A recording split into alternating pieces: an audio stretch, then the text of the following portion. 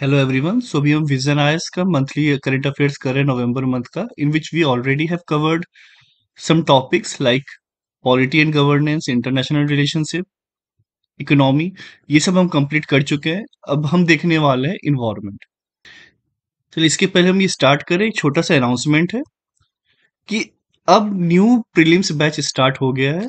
जिसमें कि polity geography economy ये सब कुछ आपको पढ़ाया जाएगा with a very minimum price of five hundred six hundred वो भी इसीलिए क्योंकि इंफ्रास्ट्रक्चर कॉस्ट लगता है। ना कंटेंट राइटिंग कंटेंट टीम को भी पैसा देना पड़ता है जहाँ से मैं ले रहा हूँ। So all those things are there so that's why यहाँ पे एक मिनिमम चार्जेस हम ले रहे हैं। लेकिन इसमें सबसे अच्छी चीज़ ये है कि विद इन थ्री मंथ्स ये सब कुछ कंप्लीट हो जाएगा। थर्टी फ़र्स्ट मार्च तक आपका पॉलिटी ज्योग्राफी इकोनॉमी हिस्ट्री सब कुछ कंप्लीट हो चुका होगा। डेमो लेक्चर्स भी ऑलरेडी प्लेलिस्ट में है तो वो भी आप देख सकते हैं, ठीक है? तो ये आप, मैं कहूँगा कि आप ज्वाइन कर ले कि थ्री थाउज़ेंड में जो है आपका कंप्लीट सब कुछ यहाँ पर आ जाएगा। As total three thousand three hundred होता है थ्री हंड्रेड और ऑफ़ हो जाएँगे। और साथ में मतलब जूम कॉल भी हो जाया करेगा साथ में, कि वी कैन इंटरेक्ट कि किस तरीके से तैयारी चल रही है, क्या सही जा रहा है, क्या गलत जा रहा है, और कैसे हमें और आगे करना है। तो आपको मेंटरशिप भी इसमें मिल जाएगा।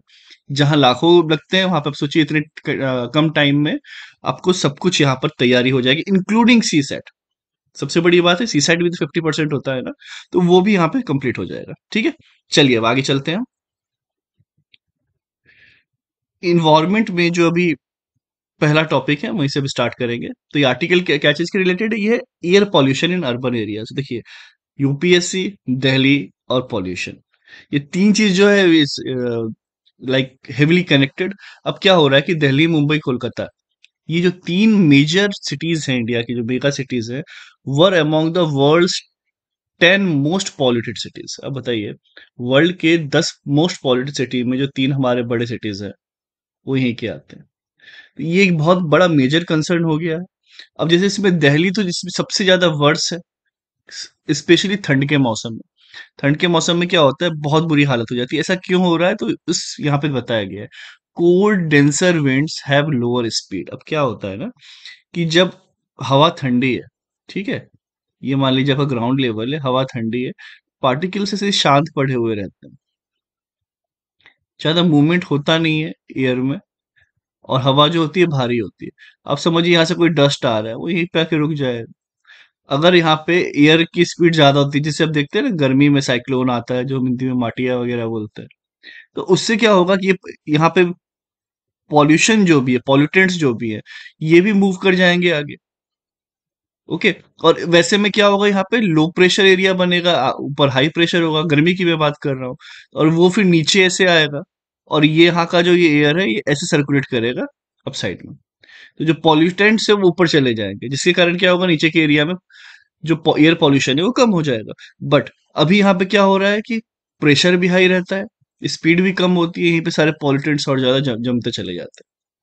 जिसके कारण बहुत severe pollution like twenty to fifty twenty to forty times तक जो डब्ल्यू एच ओ ने रिकमेंड किया हुआ है वर्ल्ड हेल्थ ऑर्गेनाइजेशन ने, उसको भी ब्रीच कर देता है। और जो जो कि बहुत ज़्यादा ही बुरा है इफ़ यू हैव अस्थमा और any kind of heart ailment लेकिन जो अभी फिट जो इंसान है, उनके लिए भी यहाँ पर ये बहुत ज़्यादा ही ट्रबलसम है। आपकी लाइफ एक्सपेक्टेंसी कम हो रही है, आपकी जो क्वालिटी ऑफ़ लाइफ है वो कम हो रही है।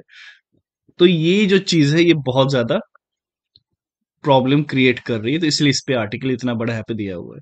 देखिए, अब मेन क्या क्या रीजन है, अब उस पर बात कर लेते हैं। बर्निंग ऑफ़ फॉजिल फ्यूल, जो फॉजिल फ्यूल्स जो बर्न हो रहे हैं, चाहे कोल है ऑयल है, गैसोलीन है, कोई भी चीज़, जो कि इलेक्ट्रिसिटी की जनरेशन के लिए मान लीजिए यूज़ हो रहा है तो उसके कारण क्या होगा? पॉल्यूशन होगा, डेफिनेटली एयर पॉल्यूशन बहुत ज़्यादा। और इसी इसी पे जो गवर्नमेंट जो है यहाँ की जो आप गवर्नमेंट है उन्होंने बहुत अच्छा काम किया है, क्योंकि उन्हें पता है कि एयर पॉल्यूशन से ज़्यादा ज़रूरी क्या है, वोट लेना, इसलिए उन्होंने 200 यूनिट यहाँ पे बिजली फ्री की हुई है। ठीक है? अब अगर ये ये जो पूरी की पूरी इलेक्ट्रिसिटी है, अगर वो सोलर से होती, कोई दिक्कत नहीं थी। बट आप कोल ऑयल आप गैसोलीन ये सब के थ्रू इलेक्ट्रिसिटी जनरेट कर रहे हैं और क्या कर रहे हैं, उसको फ्री कर दे रहे हैं। इट मीन्स गवर्नमेंट ही जो है यहाँ की सबसे ज़्यादा बढ़ावा दे रही है एयर पॉल्यूशन अब इस पे आपका क्या कहना है? आप कमेंट सेक्शन में बता सकते हैं। But yes definitely that you can say in your UPSC interview also कि यहाँ पे जो है गवर्नमेंट की ये बहुत बड़ी गलती है। या आपको क्रिटिसाइज करना है, वहाँ पे क्रिटिसाइज कीजिए। बस आपको ये होना चाहिए, आपके पास जो फैक्ट्स है, वो प्रॉपर होने चाहिए। इसके बाद देखिए इंडस्ट्रियल एमिशन वहाँ से देखिए क्या क्या निकलता है? PM two point five ten NO two SO two CO are the key pollutants that emits from industry. तो इंडस्ट्री से जो ये निकलते हैं ये चीज़ आप यहाँ पे याद रख सकते हैं। इस, तरीके से कभी कभी एमसीक्यू भी दे सकता है कि these are the particulate matters which are emitted from the industries like PM 2.5, 10, NO2, SO2, CO तो यस इसमें से कोई भी आ गया तो करेक्ट है वो। Again open burning of garbage waste तो open air garbage burning releases toxins such as black carbon soot and carcinogens ये सब क्या होता है ना, जो ब्लैक कार्बन वगैरह होते हैं, जब ये कुछ भी प्रॉपरली बर्न नहीं होता है तो सिर्फ़ जो कार्बन निकलते हैं ब्लैक कार्बन होते हैं सूट कार्किनोजेंस लाइक जो भी जिससे कैंसर्स वगैरह हो जाए, जो इस तरीके की जो चीज़ें होती है ना, वो सब यहाँ पे बर्निंग ऑफ़ गार्बेज से निकलती है। तो गार्बेज को प्रॉपर डंप करना है, क्या करना है, वो बहुत ज़्यादा इंपॉर्टेंट हो जाता है। तो म्यूनसिपलिटी को भी इस पर बहुत ज़्यादा ध्यान देना चाहिए। इसके बाद देखा जाए तो कंस्ट्रक्शन एंड डिमोलिशन ऑब्वियसली बात है आप कंस्ट्रक्शन कर रहे हैं, आप देख रहे होंगे कि वहाँ पे सीमेंट में ये मिलाया जा रहा है सैंड सैंड और ये सब। तो जो सीमेंट वगैरह भी क्या होता है हल्का हल्का वो भी एटमोसफेयर में चला जाता है। ठीक है? हल्का लाइट होता है वो भी एटमॉस्फेयर में चले जाता है। उससे क्या होता है? और पॉल्यूशन बढ़ता है। इंडोर पॉल्यूशन अब रूम के अंदर मान लीजिए अभी आपका एक घर है यहाँ पे। अब जो यहाँ रह रहे होंगे तो, तो अच्छे से फील कर लेंगे। कि यहाँ पे गलियाँ बहुत छोटी छोटी हैं वेंटिलेशन प्रॉपर है नहीं। अब जब वेंटिलेशन प्रॉपर नहीं होगा तो बाहर भी जो हवा निकलनी चाहिए थी बस अब एक ही गेट है खिड़की वगैरह है नहीं तो यहीं से निकल रहा है सब कुछ। तो अंदर जो पॉल्यूटेंट्स है वो भी जो बाहर नहीं निकल पाते हैं। ठीक है, वो भी जो है इधर ढूंढते रास्ता नहीं निकल पाते। इसी कारण क्या होता है अगेन वही है आपका एयर पॉल्यूशन जो है, वो बढ़ जाएगा इंडोर में। इनएडिक्वेट वेंटिलेशन वो यहाँ पे जो uneven temperature and humidity level can cause indoor air pollution ठीक है। Some agriculture practice like stubble burning अब क्या होता है कि यहाँ पे मान लीजिए रबी या खरीफ, कोई भी है ठीक है? रबी या खरीफ, ये आपके जब आप खेती कर रहे थे सीज़न है, उसके बाद क्या होता है कि स्टबल बर्निंग में क्या है? सपोज़ करिए धान है, ठीक है? धान की जब, उसे जब काटा जाता है मशीन से तो ये रहा आपका सरफेस ठीक है? इसी पे उगे हुए हैं, इस तरीके से बड़े बड़े ये है धान, और यहाँ पे क्या लगा हुआ है? पैडी आप समझ लीजिए, पैडी लगा हुआ है इस पर तो ये जब काटते हैं ना तो ये इस हाइट से काट देते हैं, एकदम जड़ से नहीं उखाड़ते हैं। तो इतना जो इस तरीके से पूरे एरिया में लगा हुआ होगा तो ये जो है पूरे एरिया में यहाँ पे लगा रहता है। तो इसे अब उखाड़ने में क्या है, बहुत ज़्यादा खर्चा है। तो इसलिए इसे सोचते हैं कि जला दो। अब जब इसे जलाते हैं ना तो इसके कारण बहुत ज़्यादा एयर पॉल्यूशन होता है, बहुत ज़्यादा एयर पॉल्यूशन उसी को बोलते हैं स्टबल बर्निंग तो ये जो बच जाता है, उसके बाद इसे बोलते हैं स्टबल और इसे जला देते स्टबल बर्निंग बाकी ठीक है फर्टिलाइजर्स एंड पेस्टिसाइड्स का भी यूज़ होता है in agriculture can release ammonia उससे अमोनिया रिलीज़ होता है अगेन उस अमोनिया से फिर से जो है पॉल्यूशन बढ़ेगा. अब जो लाइफ स्टॉक फ़ार्मिंग है is one of the major contributor to methane emission ये प्रीलिम्स में कोट किया हुआ स्टेटमेंट है सीधे. प्रीलिम्स में पूछा हुआ है। तो ये इंपॉर्टेंट हो जाता है कि लाइफ स्टॉक से मिथेन इमिशन होता है क्या यस होता है। तो मेजर कंट्रीब्यूटर है। कितना है, क्या है, आप कमेंट सेक्शन में बताइए। गूगल करिए, पढ़िए कितना कंट्रीब्यूट करता है कमेंट में डालिए। ठीक है? चलिए। अब बाकी सेम वही है कि इम्पैक्ट क्या क्या होगा। जो मैं आपको बोली थी एडवर्स हेल्थ कंडीशन होगी सब, हर किसी पे इम्पैक्ट पड़ेगा। जैसे जैसे मैं बोला ना, जिसको खास तौर पर अस्थमा है रेस्पिरेटरी इन्फेक्शन है या फिर हार्ट डिज़ीज़ है तो वो होगा तो उनका रिस्क और ज़्यादा बढ़ जाएगा। ठीक है, उनका जो है काफ़ी ज़्यादा बढ़ जाएगा।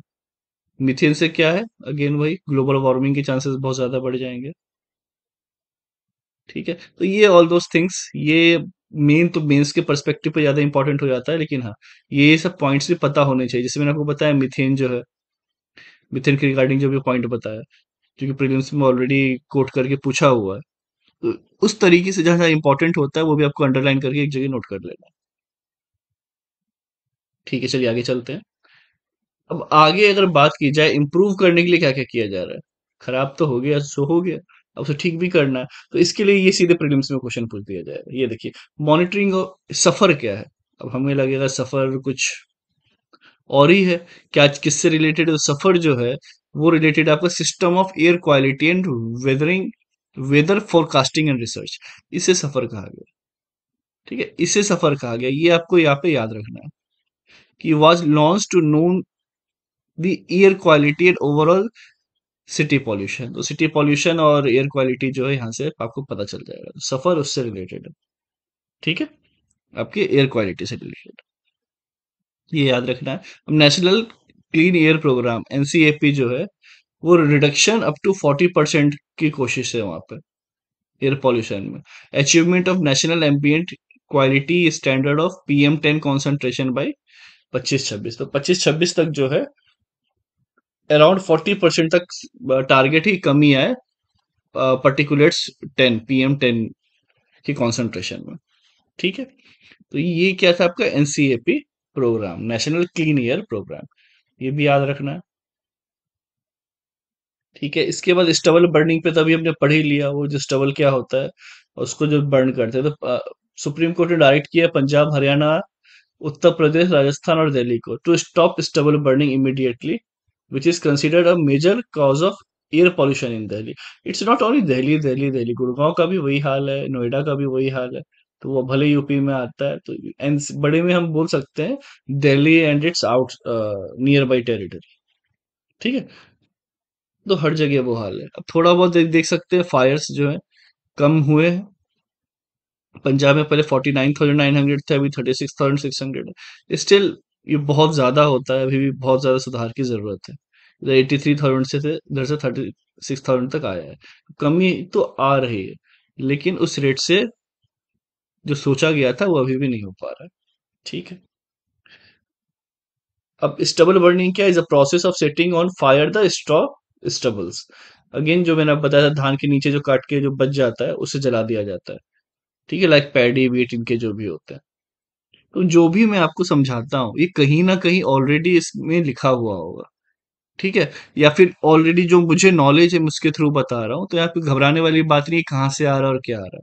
अगर आप उसे सुन रहे हैं, समझ रहे हैं सो दैट इज़ इनफ बाकी जब एक बार उसे आप पीडीएफ के लिए आप टेलीग्राम चैनल ज्वाइन कर ही सकते हो, आपको ये मिल जाएगा पूरी पूरी मैगजीन ओके तो वहाँ पर आप एक बार गो थ्रू उसको कर लें, एक बार पढ़ लें तो ये भी समझ में आएगा कि जो मैं समझा रहा हूँ, वो यहाँ पे अच्छा ऐसे लिखा हुआ ये ऑलरेडी ये चीज़ है, ठीक है? तो आपका रिटेंशन जो है वो बढ़ेगा।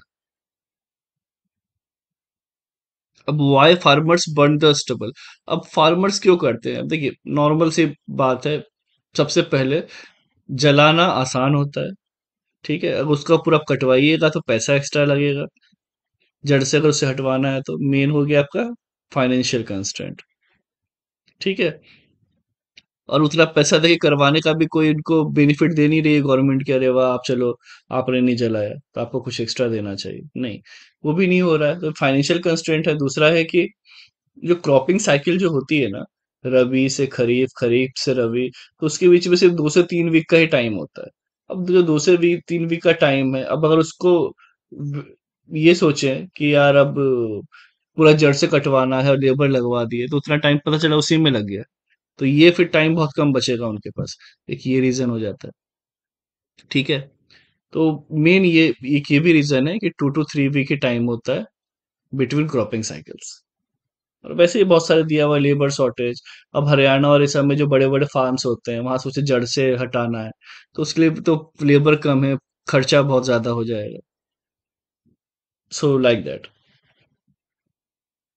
impact of stubble burning इससे क्या होता है? Harmful gases like carbon monoxide methane polycyclic aromatic hydrocarbons and volatile organic compounds ये सब जो है यहाँ पर होते हैं। ठीक है? अब ये देखिए स्टबल बर्निंग से क्या क्या निकलता है? एक टन में से। तीन के जी पर्टिकुलर्स निकल गया, साठ के जी कार्बन मोनोऑक्साइड निकल गया डाइऑक्साइड तो चौदह सौ के जी around 200 kg ash और 2 kg sulfur dioxide. ओके इसके बाद वो बात की जाए कि सीड से रिलेटेड तो हम देखते हैं।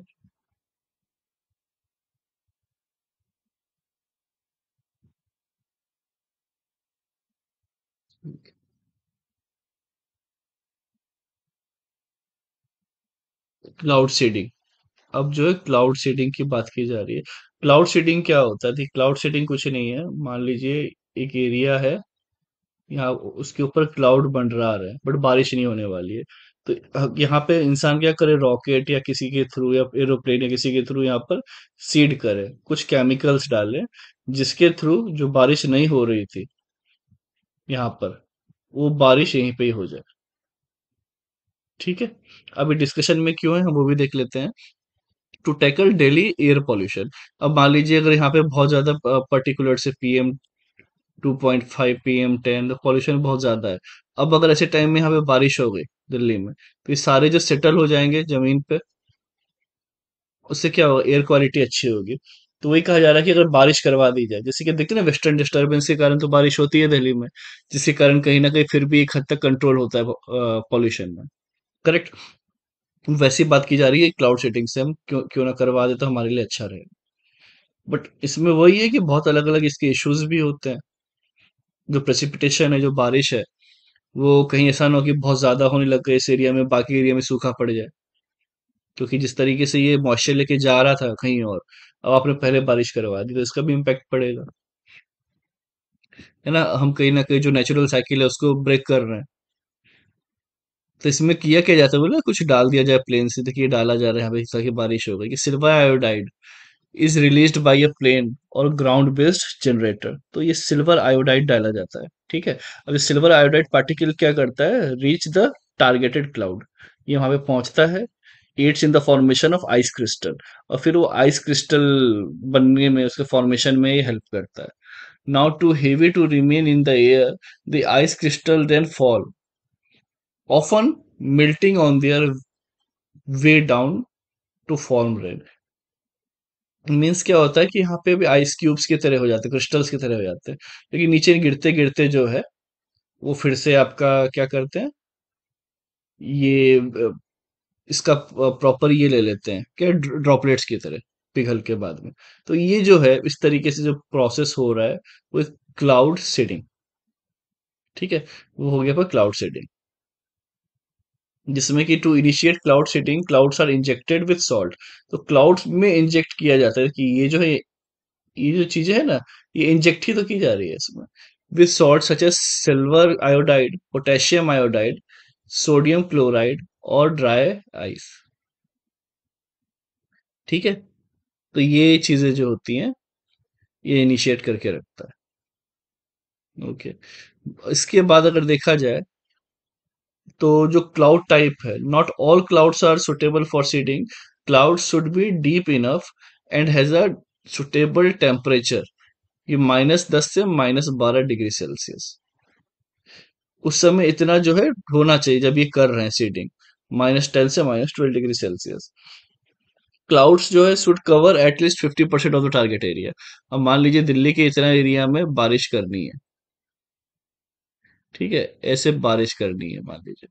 तो इतना जो एरिया है, ये सिक्सटी परसेंट अगर कवर कर रहा है तो वो ठीक है more at least fifty percent जो एरिया कवर करना चाहिए। इसके बाद cloud seeding trend to be the less effective when relative humidity is less than 75 percent जब रिलेटिव ह्यूमिडिटी 75 परसेंट से कम होगा तो उस समय ये काफ़ी लेस इफ़ेक्टिव हुआ करेगा। प्रीलिम्स का सीधे क्वेश्चन बन सकता है। कि अगर ऐसा हुआ तो क्या ज़्यादा इफ़ेक्टिव होगा या कम इफ़ेक्टिव होगा? इसका टेम्परेचर की बात की जाए तो cloud should be cold enough to contain super cold liquid water ठीक है? तो जो क्लाउड है, वो इतना हमेशा कोल्ड होना चाहिए कि वो कंटेन कर सके super cold liquid water okay ठीक है, चलिए। अब देखा जाए application of artificial range rain using cloud seeding वही मैंने बोला पॉल्यूशन कम होगा, जहाँ पे ड्रॉट है, सूखा पड़ा हुआ है, वहाँ पे अगर बारिश करवा दी, जैसे राजस्थान और सब एरिया में तो जो एरिड रीजन है, वो एरिड रीजन नहीं आएगा। तो इस तरीके से बहुत फ़ायदे हैं इसके। क्लाउड सीडिंग के क्या क्या साइड इफेक्ट्स वो भी हम देख लेते हैं। देखिए, जो cloud seeding it can harm plants animals people and even the environment तो ये किसी भी चीज़ के लिए क्लाउड सीडिंग अच्छा है नहीं तो हम सोचे कि चलो यार बार बार करके हम कुछ अच्छा कर रहे हैं एयर पॉल्यूशन कम कर रहे हैं, या फिर डिजर्टिफिकेशन कम कर रहे हैं बट उसका कॉन्सिक्वेंसेस भी बहुत खराब है। जिसे देखा जाए, जब हम सिल्वर आयोडाइड इसमें यूज़ करते हैं तो ये मटेरियल जो मटेरियल है, जो कि क्या चीज़ में यूज़ होता है आपके क्लाउड सीडिंग में, जिसे ऊपर आपको मैंने दिखाया है यहाँ पे, ठीक है? ये जो है, ये जो मटेरियल जो जा रहा है ना, यही है आपका सिल्वर आयोडाइड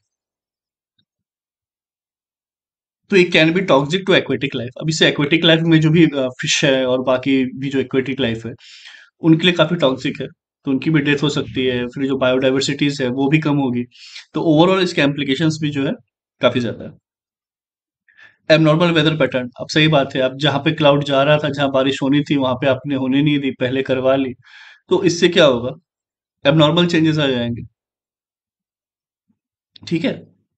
इसके बाद अगर देखा जाए तो हाई कॉस्ट अगेन आपको वहाँ पे स्काई पे ले जाना है, चाहे आप हेलीकॉप्टर से ले जाएँ आप एरोप्लेन से ले जाएँ, आप किसी से भी ले जाएँ तो उसके लिए कॉस्ट भी ज़्यादा लगेगा लॉजिस्टिक प्रिपरेशन करनी पड़ेगी बार बार कि कैसे जाएगा, क्या होगा। इसके बाद एथिकल एंड लीगल चैलेंजेस भी हैं like related to water rights and environmental impact environmental impact तो है वाटर राइट्स भाई कहीं और का पानी आप कहीं और दे रहे हो। आप ये नहीं बोल सकते ना कि समुद्र में पानी जाने वाला था। अगर दिल्ली के ऊपर आपको बरसात करनी है, जिस फॉर एग्ज़ाम्पल तो भाई यहाँ नहीं होता तो यूपी में होता, कहीं आसपास होता, हिमाचल होता, वो बारिश। आप ये नहीं बोल सकते ना कि तो अरेबियन सी में गिरने वाला था तो हमने यहाँ पे ले आया। वहाँ पे तो वेस्ट ही होने वाला था। समझ रहे बात को? तो ये चीज़ें हो जाती है। ठीक है तो ये इस तरीके से हमें, ये मेंस के लिए भी इंपॉर्टेंट है और प्रीलिम्स में भी बना सकता है कि भाई सिल्वर आयोडाइड एक्वेटिक लाइफ के लिए खराब है। तो इस तरीके से आपको वहाँ पे क्या नोट डाउन चीज़ें कर लेनी है, ताकि प्रीलिम्स में कैसे भी फ्रेम करे we will able to answer it okay इसके बाद देखा जाए।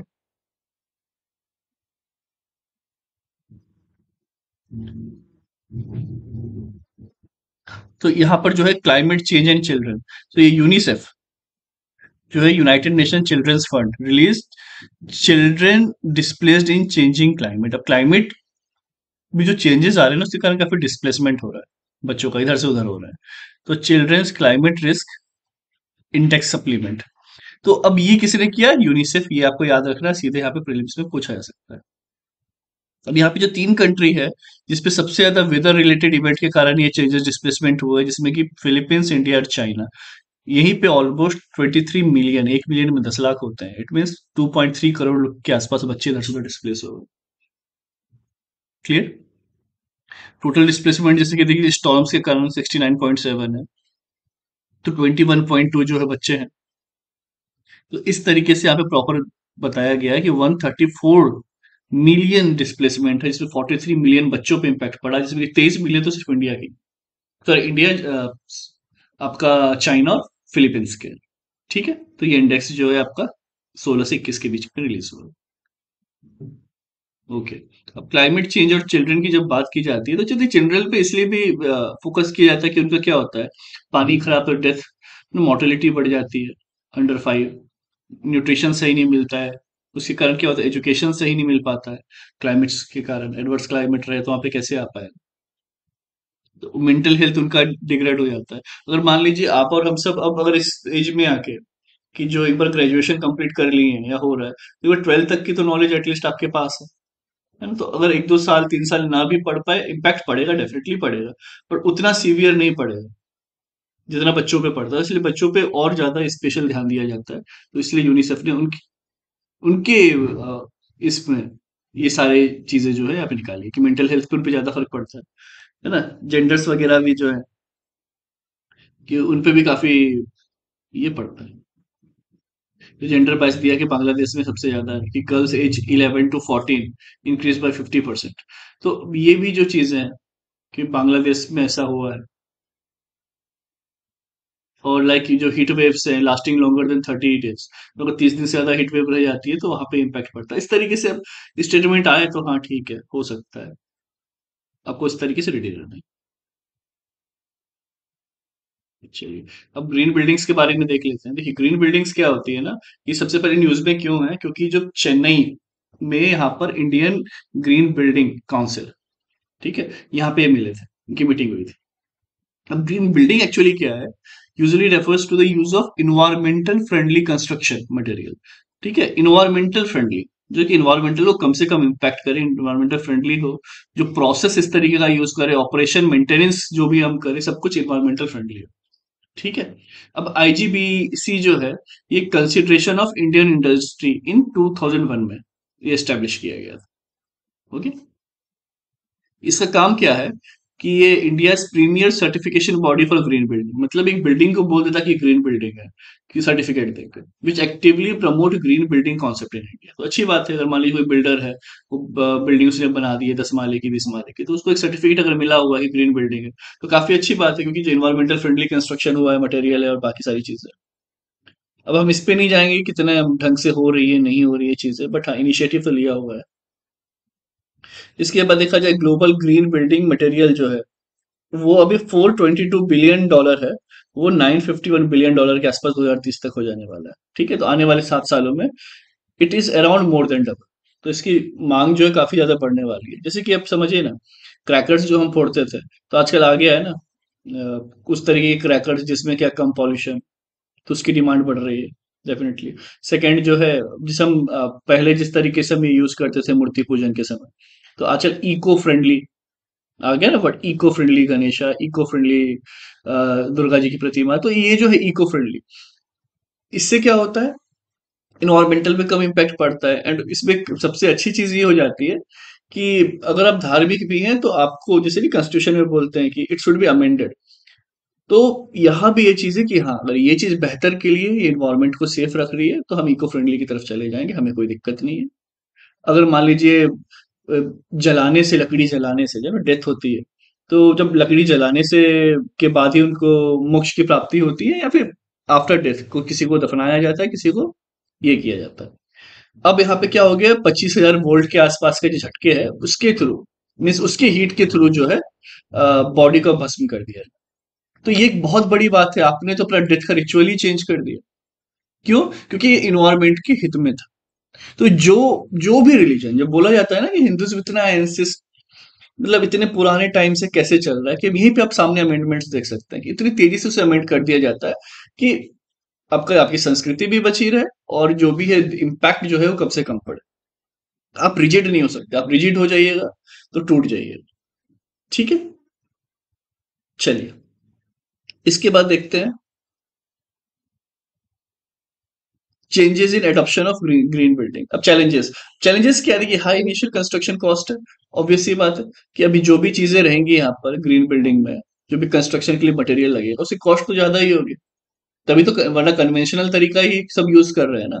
वो यूज़ करने लगते अगर सब सस्ता होता, सब कुछ होता। ओके अब इसके बाद जो है, इसके कंस्ट्रक्शन में भी इश्यू है। उस तरीके के स्किल्ड मतलब जो इन्वायरमेंट पे कम इम्पैक्ट पड़े। तो ऐसा डिज़ाइन करने वाले स्किल्ड वर्कर्स की भी कमी है। ओके उसके अवेयरनेस की भी कमी है, हमें भी नहीं पता, अगर घर बनाना होगा तो इतना दिमाग में रहेगा कितने बोरी सीमेंट डाल देते हैं, इतना बोरी ईट डालेंगे, ये डालेंगे, वो डालेंगे। अभी ये कौन सा कॉन्सेप्ट आ गया है कि कोई इस तरीके से कि इन्वायरमेंट पे इम्पैक्ट ना पड़े। तो इसलिए जो गवर्नमेंट होती है बिल्डर्स और ये सब के पीछे ज़्यादा पड़ती है। आप तो शुरू करो, बाकी तो चलो नॉर्मल लोग तक जब तक पहुंचेगा पहुंचेगा। ठीक है? तो यही सब चीज़ें हैं यहाँ पर। इसके बाद देखा जाए तो national efficient cooking program NECP तो कुकिंग किसे किसे पसंद है, ये बताएँ कमेंट सेक्शन में। तो recently energy efficiency service limited EESL launch the national efficient cooking program NECP and efficient energy efficient fans program E F P अभी E F P E S L N E C P ये क्या चीज़ से related है? तो पता होना चाहिए energy से रिलेटेड है, ठीक है? एनर्जी एफिशियंसी ये यहाँ पे चीज़ थोड़ा सा दिमाग में रखना है। ये एम क्या है इसका? Emphasizing on the importance and urgency of energy efficient fan अब देखिए, एक एनर्जी एफिशिएंट फ़ैन क्या हर चीज़ की ज़रूरत है। तो उसी तरीके से बल्ब आजकल हम देखते हैं ना, पहले कैसे सौ वाट के बल्ब रहते थे, आजकल नौ वाट का, अठारह वाट के बल्ब कितना ज़्यादा लाइट कर दे रहा है। ठीक है तो हम हम क्या कर रहे हैं? आप दिख रहे होंगे two star three star four star आप एसी लेने जाएँ या फिर आप फ्रिज लेने जाएँ, हर जगह वो चीज़ लिखी हुई होती है। तो इट मीन्स जो जनरेशन ऑफ़ इलेक्ट्रिसिटी है इंडिया में, वो काफ़ी तेज़ी से बढ़ा है सोलर से लेके सब कुछ। ठीक है इंडिया जो है अब पिछले दस सालों में नेट एक्सपोर्टर हो गया है इलेक्ट्रिसिटी का। हम जो है नेपाल, बांग्लादेश, ये सब जो कंट्री है इवन श्रीलंका, उन्हें क्या एक्सपोर्ट कर देते पहले हम क्या थे? डेफिसिट में थे। हमारे देश को ही पूर्ति नहीं होती थी। तो इसका फ़ायदा क्या होता है ना? जब आप एक्स्ट्रा है आपके पास, या आपके फुलफिल कर पा रहे रिक्वायरमेंट तो नई इंडस्ट्री आना चाहती है कि यहाँ पे इलेक्ट्रिसिटी का इशू नहीं है रोड अच्छा है, सागरमाला कॉन्सेप्ट है, ठीक है? अब आगे जाके जो है यहाँ पे ट्रेड फ्राइट्स के जो कॉस्ट है वो भी कम हो जाएगी क्योंकि तीसरी लाइन रेलवे में बन रही है। तो ये सब चीज़ें बाहर की कंपनी देखती हैं। पोर्ट्स पे क्या वर्क कर रहे हैं, ठीक है? पोर्ट्स पे किस तरीके का वर्क चल रहा है यहाँ पर। वो कंपनियाँ देखती हैं, उसके बाद बोलती है नहीं, चलो चलो, फ्यूचर अच्छा है इंडिया में, आज मैं अगर प्लांट लगाना चालू करूँगा और दो दो से तीन साल में अगर वो एक्टिव भी हुआ वो प्लांट, अगर मान लीजिए कोई बड़ा मशीनरी प्लांट है, समथिंग, तब तक देखिए, इंडिया का जो है इंफ्रास्ट्रक्चर इतना और रोबस्ट हो चुका होगा। तो ये सब चीज़ें बहुत ज़्यादा देखी जाती हैं। Specially for manufacturing sector service sector तो ठीक है, आप बैठे बैठे घर में मोबाइल देख रहे हैं, मैं पढ़ रहे हैं, मैं यहाँ से पढ़ा रहा हूँ तो फ़र्क नहीं पड़ता सर्विस सेक्टर में उतना ज़्यादा। लेकिन जहाँ पे आपका मैन्युफैक्चरिंग आ गया तो वहाँ पे ये सब चीज़ें बहुत ज़्यादा इंपॉर्टेंट और वही सोचिए अगर लाइट ना हो अभी मोबाइल चार्ज ना रहे आप सबका तो कितनी दिक्कत होती? कि ये सब इतना भी बूम हो पाता? ऑनलाइन जो भी पढ़ना, पढ़ाना या फिर इंटरनेट इतना सस्ता नहीं होता। तो बहुत सारी चीज़ें जो होती है ना, वो जुड़ी होती है इंटरनेट और हम उस इकोनॉमी का हिस्सा होते हैं, लेकिन हमें लगता है कि यार वी आर अनएम्प्लॉयड और we are something something something तो ये सब हमें नहीं सोचना। या फिर कुछ लोगों का ये मिथ होता है कि only the person who is earning and giving tax to the government जो डायरेक्ट टैक्स होता है, वही बस टैक्स दे रहा है।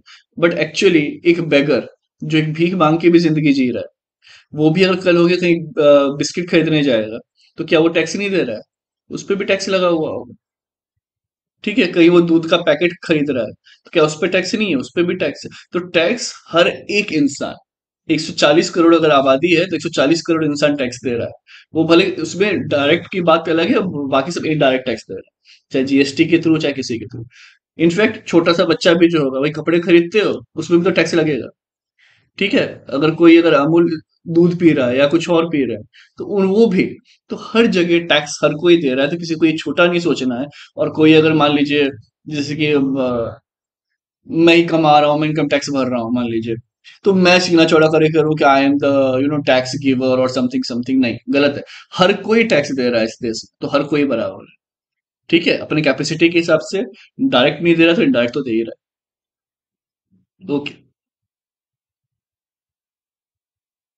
इससे, इसके फ़ायदे भी बहुत सारे हैं। तो ये जो है फोकस क्या चीज़ पे कर रहा है? Non solar electricity based induction cooker अब इसमें क्या होता है ना, अभी देखते हो कि इंडक्शन वगैरह जो हम यूज़ कर रहे हैं, वो काफ़ी ज़्यादा जो है मिनिस्ट्री ऑफ़ पावर बोल रहा है कि यार अब यूज़ करो, क्योंकि हमारे पास इलेक्ट्रिसिटी की बहुत कमी भी नहीं है।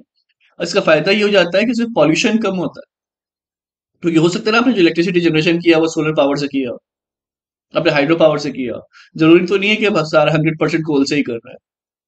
लेकिन वही है कि आप लकड़ी से जलाओगे, कोयला जलाओगे, या फिर अब एलपीजी ने तो खैर काफ़ी आसान किया है बट स्टिल एलपीजी से भी बेस्ट प्रैक्टिस इसमें है। क्योंकि क्या होता है कि ओवरऑल थर्टी परसेंट के आसपास इलेक्ट्रिसिटी कॉस्ट मतलब जो खाना बनाने का जो कॉस्ट है एज पर गैस और इसमें थर्टी परसेंट की कमी है तो इंडक्शन सस्ता पड़ जाता है।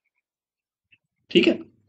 इंडक्शन ये देखिए कॉस्ट एडवांटेज ये जो मैं बताता हूँ तो यही सही डेटा रहता है। इकोनॉमिक सेविंग है। और वैसे भी फ़र्क नहीं पड़ता ना कि चावल आप किस पे बना रहे हो? इंडक्शन पे बनाओ या गैस पे बनाओ, फ़र्क नहीं पड़ता, दाल किस पे बना रहे हो? अब जहाँ पे ज़रूरत है कि चपाती में, भाई, अब तुमको फुलाना है रोटी तो तुम इस पे बना लो। इजेंट इट बट जहाँ पे ज़रूरत नहीं है तो वहाँ तो कोई लोड की ही बात नहीं है। वहाँ पे आप इंडक्शन आराम से यूज़ कर सकते हो, वही आप बैलेंस करके आप दोनों अपना यूज़ करें। ठीक है। इस ऑर्गेनिक फ़ार्मिंग की बात की जाए तो ये जो है लॉन्च हुआ है under brand name Bharat organics अब ये बहुत इंपॉर्टेंट है, बहुत ज़्यादा। अब इस पे तो डबल ट्रिपल स्टार मारी ये प्रीलिम से पूछा जा सकता है। क्यों? क्योंकि स्टैब्लिश ही हुआ है 2023 में। अगेन अभी इसी साल स्टैब्लिश हुआ है। कितना इंपॉर्टेंट हो गया। देखिए multi state cooperative society under क्या है? Multi state cooperative society act 2022 तो ये स्टैब्लिश कब हुआ? ये पूछ देगा कि 1995 में स्टैब्लिश हुआ, आपको पता ही नहीं है। अंडर दिस एक्ट 2002 हुआ है। ठीक है? तो एक सही है, एक गलत है। इसी पे दो स्टेटमेंट बन गए, हो गया अब प्रीलिम्स का क्वेश्चन अब इसमें एक आध इसके एम के बारे में पूछ लेगी to provide a platform to all the farmers doing natural farming across the country and to make arrangement for the marketing of their product सही बात है, सिर्फ़ ये नहीं है कि इनको नेचुरल फ़ार्मिंग जो है पूरी कंट्री में उसके लिए प्लेटफॉर्म देना है और साथ में मार्केटिंग भी कर पाए वो। यार, ये जो हमारा प्रोडक्ट है ऑर्गेनिक प्रोडक्ट है, आप ये खरीदें। अगर आप शहर में है अभी, आप नोटिस करिएगा, अगर आप, जैसे कि दिल्ली में, आपको ये अगर एक ऑनलाइन प्लेटफॉर्म है, ना ओटीपी जेप्टो किसी से भी आप अगर डिलीवर करवा रहे हैं सामान तो वहाँ पे लिखा आता है कि ऑर्गेनिक क्योंकि वो तो ऑनलाइन है सिस्टम तो उन्हें बना के रखा हुआ है। तो ऑर्गेनिक गोभी होगी, मान लीजिए अस्सी रुपए किलो। जो नॉर्मल गोभी होगी, वो होगी पचास रुपए किलो। तो भाई अब आप पर अब क्या ले? ऑर्गेनिक थोड़ा कॉस्टली तो है, लेकिन पहली बात पता तो चले कि सर्टिफाइड है कि नहीं। तो वो सब सर्टिफाइड रहता है। ठीक है? क्योंकि भाई, वो सब अगर बेच रहे तो ऐसे ही नहीं बेच सकते ना, कुछ भी टैग लगा के। तो प्रॉपर जो है, वो सब ये करवाते हैं कि जाते हैं सबके पास कि, सर, ये देखिए अगर ये आपका ऑर्गेनिक है तो प्लीज़ हमें ये टैग दीजिए। ठीक है? तो ये टैग वैग कैसे क्या है, वो भी हम आगे देखेंगे। अब देखिए सिक्स ऑर्गेनिक प्रोडक्ट है word launch under Bharat organics अब ये वेरी इंपॉर्टेंट कौन कौन से भारत ऑर्गेनिक्स के अंदर आए हैं?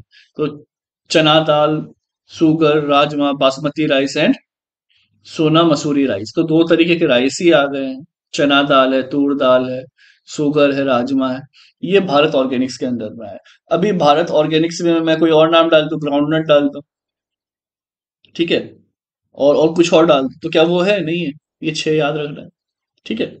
Concept of organic under one route तो कॉन्सेप्ट क्या है? That is a network of retail outlet for all organic products started through NCOL was also launched तो ये जो है ना ऑर्गेनिक अंडर वन रूट सही बात है कि एक ही जगह सब कुछ हो जाए। अभी वरना परेशान हो जाते हैं यार सर्टिफिकेट कहीं से लो, बाकी चीज़ें कहीं से करो। ठीक है? एक्सपोर्ट इम्पोर्ट तो बहुत सारी दिक्कतें हो जाती है। कि कैसे क्या ऑर्गेनाइज होगा। सब कुछ एक रूफ के अंदर, कि एक ही रहे और वो सब कुछ उस तरीके से उसके लिए वर्क कर दे अब ये ये बहुत इंपॉर्टेंट हो जाता है। इस पे भी सीधे प्रीलिम्स का क्वेश्चन कोट हो जाएगा कि India has the largest number of organic farmers अब लगेगा, यार, है क्या ऑर्गेनिक इंडिया में सबसे ज़्यादा? तो सोचने वाली बात है forty four point three lakh है, जो कि इकोनॉमिक सर्वे में है। तो इकोनॉमिक सर्वे भी हम कंप्लीट करेंगे। ठीक है? दूसरा fifty nine point one lakh hectare जो है, वो ऑर्गेनिक फ़ार्मिंग के अंडर है। ठीक है? India rank six in the certified area globally. अभी बात यह है सर्टिफाइड एरिया। एरिया की बात की जा रही है। द नंबर है, द एरिया है। ओके? बेनिफिट्स क्या है इन्वायरमेंट के लिए? Prohibits use of harmful pesticide. अभी पेस्टिसाइड वगैरह यूज़ नहीं करते हैं इसमें, ठीक है? तो सॉइल हेल्दी होती है, mitigate climate change through carbon sequestering ये भी जो है काफ़ी ज़्यादा कम हो जाता है। रेड्यूस इरोजन इरोजन कम होता है। ठीक है? Cleaner water stimulates biodiversity and micro organism ethical pasture based system तो काफ़ी एथिकली यहाँ पे चीज़ें जो है, होती है। तो ये इन्वायरमेंट के लिए इतने फ़ायदे हो गए। दूसरा फार्मर को क्या फ़ायदा है? इनपुट कॉस्ट देखिए, कोई भी छोटे छोटे खासतौर स्मॉल और मार्जिनल फार्मर्स उनकी सबसे बड़ा हेडेक तो यही है कि शुरू में इनपुट कॉस्ट इतना महँगा फर्टिलाइज़र लाओ यूरिया लाओ फॉस्फोरस लाओ, ये लाओ, वो लाओ कि भाई पैसा ही नहीं होता। फिर कमाई भी छोटी सी लैंड है तो कितना ही हो पाए। ठीक है, मेहनत करो, पता चल रहा है कि बस घर में खाने लायक हुआ है। तो इससे क्या होगा? Attract more customers input cost कम है। तो more resilient to extreme weather events है। एक्सट्रीम वेदर इवेंट्स में भी ये है।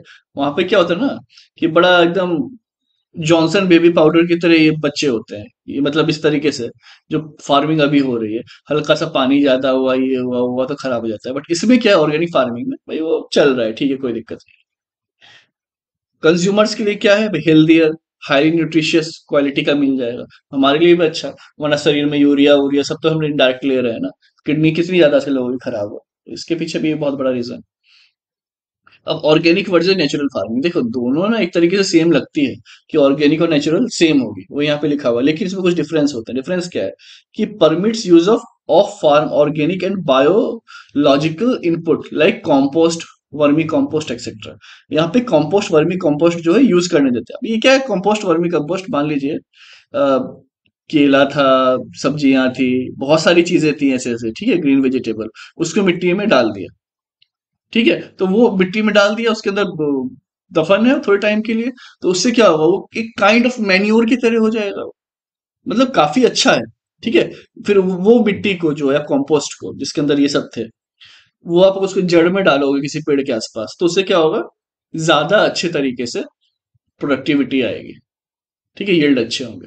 तो वो है कंपोस्ट वर्मी कंपोस्ट मतलब इस तरीके से ऑर्गेनिक जो भी कंपाउंड है आप डाल दिए मिट्टी में और वो एक, एक इस तरीके से आपके पास आ जाएगा। इसके बाद नेचुरल में इस तरीके का कोई एक्सटर्नल इनपुट नहीं होता। ठीक है? तो यहाँ कुछ नहीं बोला ना केले के छिलका, ये सब, जो भी एक्स्ट्रा पड़ा हुआ है, वो आपने डाल दिया, सड़ा उसी में, और बाद में उसी मिट्टी को, जहाँ पे आपने सब डाला हुआ था हाई अमाउंट में, उसको उठा के पेड़ के जड़ में डाल रहे हैं। तो यही है compost vermi compost open for micro nutrition correction through use of minerals अब मान लीजिए माइक्रो कई कमी है पोटेशियम की फॉस्फोरस की तो वो थोड़ा बहुत मिनरल्स यहाँ की कमी है तो करेक्ट किया जा सकता है। ठीक है अराउंड है। यहाँ पे नेचुरल फ़ार्मिंग में नहीं, कुछ नहीं। नहीं तो नहीं। ठीक है, कि भी हम बाहर का कुछ डालेंगे ही नहीं। हमको कोई बाहर बाहर का कुछ नहीं कुछ नहीं। फिर इधर क्या है? Plugging soil tilling weeding might be undertaken in organic farms है ना? क्योंकि वीड्स वगैरह भी जो होते हैं उसको तो उखाड़ के फेंकना पड़ता है। लेकिन mix of natural ecosystem no plug no soil tilling no weeding बस सीधे प्लग करना है और चलने दो। मतलब ऐसे ही प्लगिंग भी क्या, बस ऐसे ही चलने दो नेचुरल फ़ार्मिंग है ना, जो अपने आप चीज़ें उग रही हैं, वो सब भी जो है नेचुरल फ़ार्मिंग पे आ जाता है। इसके बाद देखा जाए कि जैसे आप समझिए ना, तुलसी जी का जो पेड़ होता है घर में, जहाँ पे ना एक बार हो गया तो आसपास भी बहुत सारे पनप जाते हो तो नेचुरल फ़ार्मिंग हो गया। आपने सीड को क्या किया? बस ज़मीन पे ऐसे छीट दिया। ठीक है? और बाद में वहाँ से फिर तुलसी जी का पौधा निकल रहा है। तो ना, ये आपका नेचुरल फ़ार्मिंग में आ गया। ठीक है? ऑर्गेनिक में है प्रॉपर आप चाहे वो गोबर यूज़ करें, चाहे आप वर्मी कंपोस्ट या फिर कंपोस्ट यूज़ करें तो वो सब चीज़ें होती तो ये यहाँ पे आपको ये चीज़ दिमाग में रखना major challenges for organic farming sector अब इसमें भी क्या है again high input cost and low yield yield जो है शुरू में इसकी कम है, क्योंकि ट्रांजिशन कर रहे हैं ना कन्वेंशनल से ऑर्गेनिक में। तो भाई अभी ज़मीन भी जो है उतनी ज़्यादा उसको अडेप्ट नहीं की हुआ सॉइल उनको भी आदत पड़ गई ना फर्टिलाइज़र डालेंगे, ये डालेंगे, वो डालेंगे। है कि नहीं? अभी एकदम से आप खा रहे हो डेली चाउमीन डेली ड्यूडल्स और ये सब, और एकदम से बोल दिया जाए कि अब बढ़िया जो है, घर का अच्छा खाना खाया जाएगा, रोटी, सब्ज़ी और ये सब तो यार टाइम लगता है।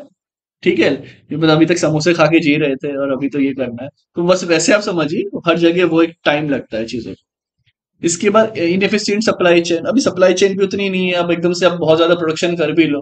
तो यार कहाँ कहाँ जाएगा, नहीं जाएगा एक्सपोर्ट कैसे होगा, क्या होगा तो इसके लिए भी प्रॉपर अभी गवर्नमेंट कर रही है। लेकिन अभी भी हाँ कुछ भी चीज़ में टाइम तो लगता ही है। वो एक अभी इशू है। सर्टिफिकेशन प्रोसेस में इशू है कि मल्टीपल सर्टिफिकेशन है कॉम्प्लेक्स एंड कॉस्टली प्रोसेस है। अभी तीन चार लोग दे रहे हैं सर्टिफिकेशन तो ये बोला ना, एक ही ग्रुप बंदा मतलब एक ही दे। जैसे होता है ना हॉलमार्क एक चीज़ का, एक मार्क है, या फिर जो भी अलग अलग मार्क रहते हैं तो वैसे एक ये इसका भी रहे कि ऑर्गेनिक है, इसका है। एक ही जगह से सर्टिफाई अलग अलग मल्टीपल सर्टिफिकेशन ना हो। और प्रोसेस कॉस्टली ना हो इतनी ज़्यादा। वरना कोई करवाएगा ही नहीं। अब ये जो है managed and operated by agriculture and processed food products export development authority ठीक है? ये करती है under ministry of commerce and industry तो ये जो ऑर्गेनिक सर्टिफिकेशन रिजाइम है ना, उसकी बात की जा रही है। ये एक इंपॉर्टेंट है जैविक भारत लोगो, अब जैविक भारत लोगो क्या चीज़ के लिए है? ये फसाई ने किया हुआ है food safety and standards authority of India has introduced the logo to communicate the adherence of the national organic standard तो जो भी नेशनल ऑर्गेनिक स्टैंडर्ड्स है ना, उसको अडेयर कर रहा है। ठीक है? उसको मान रहा है, चल रहा है उस हिसाब से तो फिर उसको लोगो दे दिया जाता है। ओके जैसे मान लीजिए आप कहीं रॉड लेने जा रहे हैं। रॉड लेने की घर बनाना है। वहाँ पे लिखा रहे I S I Indian standard के हिसाब से। आई एस आई लिख दिया तो आपको भी थोड़ा भरोसा हो जाता है, क्योंकि इसलिए स्टैंडर्ड माना हुआ ठीक है? तो सेम अगर वहाँ पे वो लोगो लगा दिया, जैविक भारत लोगो तो हमें भी लगेगा, नहीं नहीं, ठीक है ऑर्गेनिक है लाइक प्रॉपरली है केरला की बात की जाए तो पाँच हज़ार हेक्टेयर जो है कोशिश करेंगे अगले पाँच साल में ऑर्गेनिक फ़ार्मिंग हो। इतने का पाँच हज़ार हेक्टेयर में। और हर साल एक एक हज़ार हेक्टेयर बढ़ाएँगे। तो ये क्वेश्चन बन जाता है कि किसने बोला है पाँच हज़ार हेक्टेयर एंड ऑल ऑल के बारे में तो केरला है। सिक्किम जो है world first hundred percent organic state बहुत बड़ी बात होती है। पहला स्टेट है जिसमें हंड्रेड परसेंट ऑर्गेनिक है। पूरा एरिया ही ऑर्गेनिक ठीक है? और बाकी तो इसमें उनको भी दिक्कत क्या हो गई बेचारों को कि ये सब एक्सपोर्ट होने लग गए। ठीक है? यार ऑर्गेनिक है ऑर्गेनिक पूरे इंडिया में एक्सपोर्ट होने लग गए। वहीं के लोगों को खाने नहीं मिल रहा है उनके लिए इतना महँगा हो गया कि वो नहीं खरीद पाते। वो बोलते, भाई, कहीं से बाहर वाले आके हमारे पास नॉन ऑर्गेनिक दे दो। बीस रुपए का ब्रिंजल दे दो हमको। कहाँ भी अस्सी रुपए का खाएँगे? क्योंकि भाई बड़े बड़े जगह है, दिल्ली, विल्ली और ये सब। कोलकाता जब पैसे वाले जाते हैं तो वो बोल रहे हैं, यहीं पे हमको भेज दो। ठीक है? तो अब अगर अस्सी रुपए मिल रहे हैं तो वो वहाँ के जो सब्ज़ी वाले या जो फार्मर से क्या करेंगे? बाकी जगह भेज, भेजेंगे ना? क्यों यहाँ पे बीस रुपए में बेचेंगे? तो वो उसके कुछ चैलेंजेस होते हैं बट ठीक है। जब धीरे धीरे पूरे इंडिया में ये ऑर्गेनिक बढ़ जाएगा तो फिर रेट्स के ऐसे फ्लक्चुएशन होने भी बंद हो जाएँगे। ओके अब देखिए कुछ क्लाइमेट इक्वलिटी की अगर बात की जाए तो क्या है ऑक्सम ने ये है ना रिलीज़ किया है? ऑक्सफर्म ने रिलीज़ किया हुआ है। कि क्लाइमेट इक्वलिटी है प्लेनेट फॉर द 99 परसेंट अब ये जो प्लेनेट फॉर 99 परसेंट ऐसा क्यों कहा गया है कि जो एक परसेंट जो सुपर रिच लोग हैं ना, उनने 16 परसेंट कार्बन का क्या है इमिशन किया ग्लोबल का एक परसेंट आबादी। ठीक है, अगर हम बोले 800 करोड़ आबादी है तो उसका एक परसेंट कितना हो गया? आठ करोड़ आठ करोड़ लोग जो है 16 परसेंट ग्लोबल कार्बन इमिशन कर रहा है which is equivalent to poorest 66 percent of humanity अब 66 परसेंट कितना हो गया? 800 करोड़ का ही अब मान लीजिए। ठीक है? 400 करोड़ तो हो गया 50 परसेंट तो मतलब अराउंड 500 करोड़ लोगों का सिर्फ़ ये 8 करोड़ लोग 8 करोड़ लोग इमिट कर रहा है। जितना 500 करोड़ लोग मिलके भी नहीं कर रहा है। तो ये, इसके कारण क्या है? बहुत सारी दिक्कतें हो रही हैं। और सिर्फ़ बेचारे वो इतना नहीं चल रहे हैं तो वो पॉल्यूशन नहीं कर रहे हैं, कुछ नहीं कर रहे हैं। लेकिन अब इसके कारण क्या हो रहा है कि जो एक परसेंट लोग जो है ना ये जितना टारगेट होना चाहिए 1.5 डिग्री ग्लोबल वार्मिंग अचीव करने का उसका 22 टाइम्स ज़्यादा उस लिमिट को ब्रीच कर रहा है। नाउ कैन यू गेस मतलब इनमें ये वो लोग भी होंगे जो बैठ के मीटिंग करते हैं, क्योंकि आते प्लेन से मिलने हैं हर जगह ठीक है? तभी तो इस बार कितना अच्छा इसके ये जो गवर्नमेंट है गवर्नमेंट ऑफ़ इंडिया उन्हें लाइफ का कॉन्सेप्ट दिया लाइफ स्टाइल फॉर इन्वायरमेंट भाई अपनी लाइफ स्टाइल भी ऐसे करो आओगे एकदम गाड़ी से है ना, हमेशा हीटर ही चलाना है और यही सब करना है तो कैसे काम चलेगा तो लाइफ स्टाइल फॉर इन्वायरमेंट ये आप यहाँ पे इस तरीके से वे फॉरवर्ड मीन्स में भी लिख सकते हैं। क्यों ज़रूरी है इतना ज़्यादा? इसलिए ज़रूरी है। ये एक परसेंट लोग समझ जाए तो कितनी बड़ी दिक्कत दूर हो जाए। और सिर्फ़ इतना नहीं है ना, सर। इसके कारण जो ये सुपर रिच लोग इतना इमिशन कर रहे हैं, उसके कारण जो एक्स्ट्रा जो हीट जनरेट हो रही है, उसके कारण 1.3 मिलियन डेथ हो रही है, सर। तेरह लाख लोग मर रहे हैं। अब इन्हें पता ही नहीं है फील ही नहीं कर पा रहे कि मेरे कारण जो है, तेरह लाख लोग मर रहे हैं। क्योंकि जो हीट स्ट्रोक आते हैं, जो ये सब होता है, वही तो एक डिग्री आधे डिग्री इसी का तो डिफरेंस बहुत ज़्यादा डेडली हो जाता है। अब समझिए ना ज़ीरो डिग्री तक चीज़ें आइस है, लेकिन ज़ीरो पॉइंट फाइव हुआ तो वाटर होने लगता है, पूरा स्टेट ही चेंज हो गया। है कि नहीं? तो वो लगता है कि यार आधे डिग्री से क्या होगा वन पॉइंट फाइव की बात कर रहे हैं but yes this is the blunder जो यहाँ पे हो रहा है। इसके बाद देखा जाए एडप्शन गैप रिपोर्ट अब जो एडप्शन गैप रिपोर्ट किसने रिलीज़ किया है यूएनई यूएनईपी वेरी इंपॉर्टेंट पूछ देंगे। क्योंकि अब एडप्शन से रिलेटेड फिर ये होगा। तो इसमें एडप्शन में होता क्या है ना, कि कंट्री की जो है वर्नेबिलिटी को कम करने की कोशिश की जाती है और उनको इस तरीके से कम करती है कि इम्पैक्ट को भी एब्जॉर्ब कर सके, उसकी एबिलिटी उनमें बढ़ जाए। इसीलिए कहा गया एडप्शन कि अगर कुछ सही नहीं भी हो रहा है तो उसको इम्पैक्ट को एब्जॉर्ब कर सके। ठीक है? और बाकी जो एडप्शन फाइनेंसिंग गैप जो है, वो बढ़ते चले जा रहा है। अराउंड 200 से 400 बिलियन के आसपास समझिए आप एनुअली ठीक है? चलिए तो बस यहाँ तो कुछ ज़्यादा है नहीं। बस वो आपको याद रखना है, किसने ये रिलीज़ किया है। यूएनईपी के बारे में थोड़ा सा देख लेते हैं। यूनाइटेड नेशन जो इन्वायरमेंट प्रोग्राम है, ये लीडिंग इन्वायरमेंटल अथॉरिटी है यूनाइटेड नेशन सिस्टम की। ठीक है? फाउंड कब हुई है? 1972 ये इंपॉर्टेंट है, पूछ देते हैं कभी कभी क्रोनोलॉजी कब क्या, कौन आया है। तो ये आपको पता होना चाहिए UN conference on the human environment mandate क्या है to find solution to triple planetary crisis अब इसमें इसका मैंडेट ये कि भाई हमें तीन चीज़ों पे ध्यान देना है। थ्री ट्रिपल प्लानिटरी क्राइसिस अच्छा वर्ड है। ये आप लिख नोट को कोट कर सकते हैं। वो क्या क्या है? Climate change nature and biodiversity loss pollution and waste ठीक है? ये तीन चीज़ जो है इसे ट्रिपल प्लानिटरी क्राइसिस कहा है यूएनईपी इंडिया मेंबर है, और कौन कौन सी रिपोर्ट लाता है? इमिशन गैस रिपोर्ट और ग्लोबल इन्वायरमेंट आउटलुक ये भी जो है, यही लाता है। ठीक है? अब पेरिस एग्रीमेंट सिंथेसिस रिपोर्ट है। तो ये जो है आपका UNFCCC United Nation framework on climate change तो इनका ने क्या किया? रिलीज़ किया है nationally determined contribution under Paris agreement synthesis report तो ये रिपोर्ट जो है Paris agreement synthesis report UNFCC ने लाया है। रिपोर्ट कह रहा है कि एनडीसी ने 195 पार्टीज़ को पेरिस एग्रीमेंट के हिसाब से एनालाइज किया है। ठीक है? एनालाइज जो है, इतना किया हुआ है। और वर्ल्ड जो है ऑफ़ ट्रैक है। अभी यही हर जगह होता है। क्योंकि देखिए इंडिया इतना ज़्यादा सोलर के पीछे और सब कुछ मतलब कर रहा है। इंडिया जैसी कंट्री का करना है तो पूरे वर्ल्ड के लिए ज़रूरी हो जाता है कि जहाँ वन बिलियन के अबा पॉपुलेशन फिर भी ऑफ़ ट्रैक चल रहे हैं, है ना? क्योंकि जो implementing latest NDC will increase emission by approximately eight point eight by twenty thirty related to 2010 level हम जहाँ सोच रहे थे कि 45 परसेंट कम करना है 2010 के लेवल पे हम एक्चुअली 8.8 बढ़ा ही दिए अब सोचिए कितना बड़ा डिफरेंस आएगा। समझ रहे हैं तो ये तो क्या ही करें, ये मतलब एफर्ट्स इतना डालने और सोचने के बाद, ये वही वाली बात हो गई है।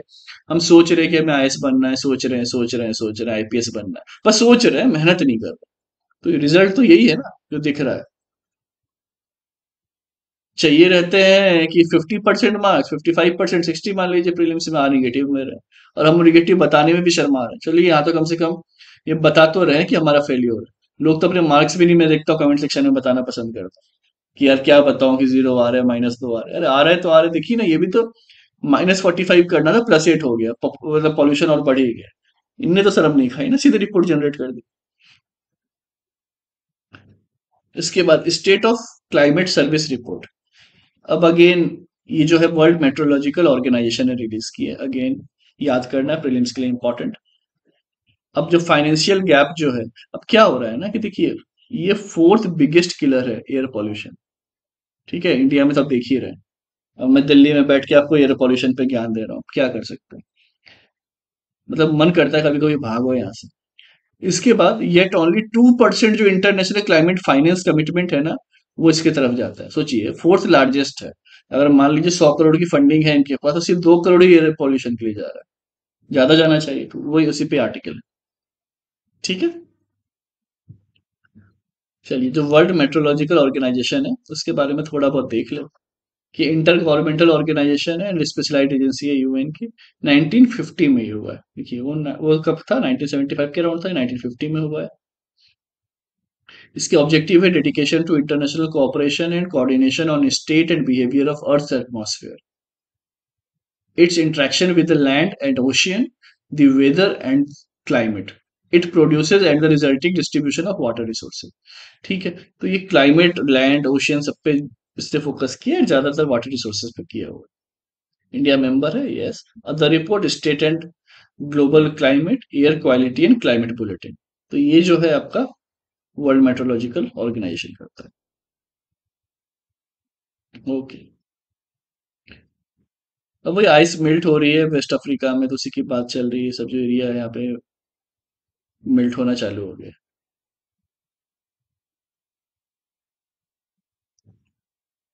ठीक है।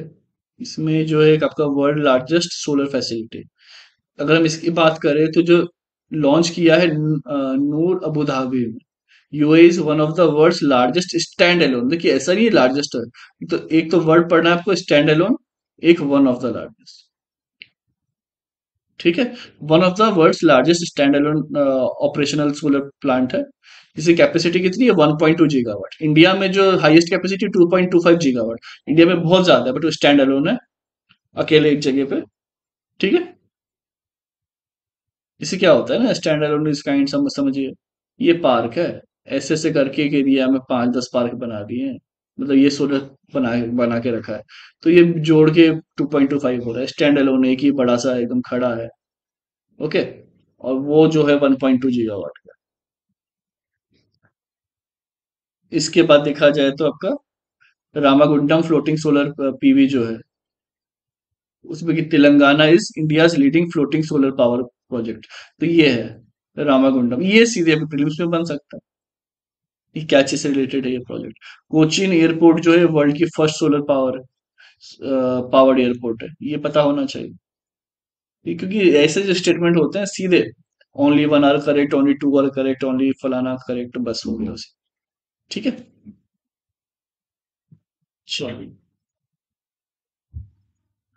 इसके बाद India initiative for land degradation अब देखिए इंडिया भी कोशिश कर रहा है कि लैंड डिग्रेडेशन कम हो, और जो 26 मिलियन हेक्टेयर है उसको फिर से क्या करने की कोशिश कर रहा है कि रिस्टोर हो जाए। ठीक है, वहाँ पे जो डिग्रेड हो चुका है, वहाँ पे ऑलरेडी तो वो इस पे रिस्टोरेशन पे वर्क कर रहा है as per Bonn challenge pledge ये अच्छी चीज़ है, ऐसे इनिशिएटिव्स बहुत ज़रूरी है। ठीक है।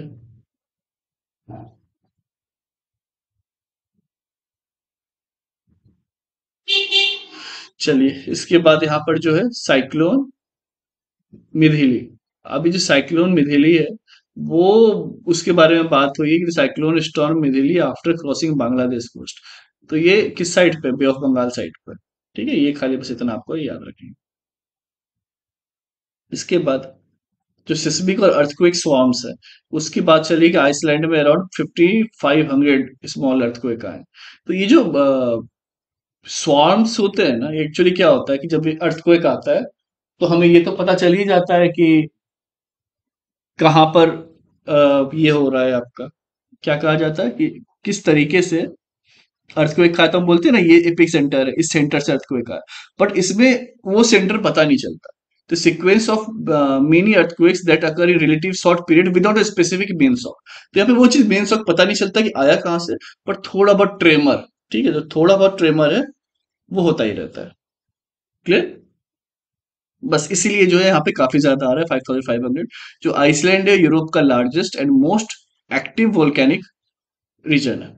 ये जो है आप याद रख सकते हैं due to presence on on mid Atlantic ridge तो मिड अटलांटिक रिच के कारण ऐसा है। अब ये सीधे प्रीलिम्स का कोड बनेगा हाँ हाँ ऐसा हो सकता है। तो ये सब आपको बहुत अच्छे से पता होना चाहिए। आप कहेंगे तो इस पे एमसीक्यू भी मैं अलग से खुद ही क्रिएट करके बना के आपको पढ़ा ठीक है? चलिए, बाकी फिर मिलते हैं नेक्स्ट सेशन में, तब तक के लिए जय हिंद।